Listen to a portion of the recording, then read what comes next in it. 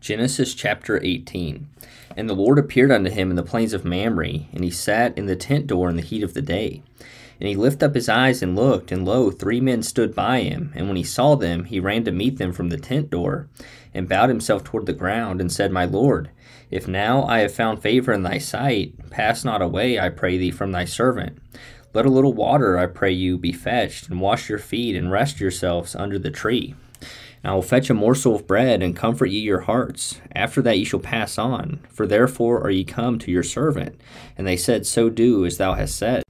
And Abraham hastened into the tent unto Sarah, and said, Make ready quickly three measures of fine meal, knead it, and make cakes upon the hearth. And Abraham ran unto the herd, and fetched a calf tender and good, and gave it unto a young man, and he hasted to dress it. And he took butter and milk, and the calf which he had dressed, and set it before them. And he stood by them under the tree, and they did eat. And they said unto him, Where is Sarah thy wife? And he said, Behold, in the tent. And he said, I will certainly return unto thee according to the time of life, and lo, Sarah thy wife shall have a son. And Sarah heard it in the tent door which was behind him. Now Abraham and Sarah were old and well stricken in age, and it ceased to be with Sarah after the manner of women. Therefore Sarah laughed within herself, saying, After I am waxed old, shall I have pleasure, my Lord being old also? And the Lord said unto Abraham, Wherefore did Sarah laugh, saying, Shall I of a surety bear a child which am old? Is anything too hard for the Lord? At the time appointed I will return unto thee, according to the time of life, and Sarah shall have a son. Then Sarah denied, saying, I laugh not, for she was afraid. And he said, Nay, but thou didst laugh. And the men rose up from thence and looked toward Sodom, and Abraham went with them to bring them on the way.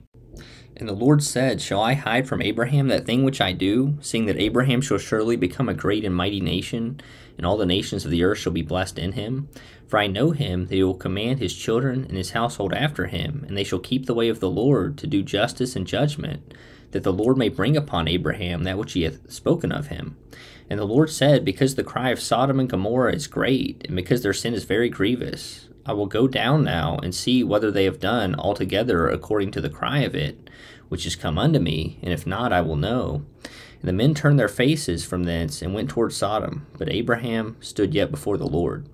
And Abraham drew near and said, Wilt thou also destroy the righteous with the wicked? Peradventure there be fifty righteous within the city. Wilt thou also destroy and not spare the place for the fifty righteous that are therein? That be far from thee to do after this manner, to slay the righteous with the wicked, and that the righteous should be as the wicked. That be far from thee. Shall not the judge of all the earth do right?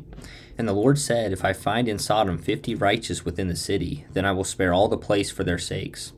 And Abraham answered and said, Behold now, I have taken upon me to speak unto the Lord, which am but dust and ashes.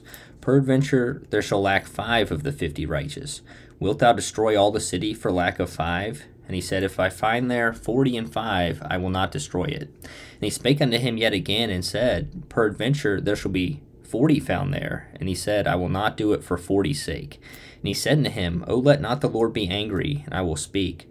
Peradventure there shall thirty be found there. And he said, I will not do it if I find thirty there. And he said, Behold now, I have taken upon me to speak unto the Lord. Peradventure there shall be twenty found there. And he said, I will not destroy it for twenty's sake. And he said, O let not the Lord be angry, and I will speak yet but this once. Peradventure ten shall be found there. And he said, I will not destroy it for ten's sake. And the Lord went his way as soon as he had left communing with Abraham, and Abraham returned unto his place.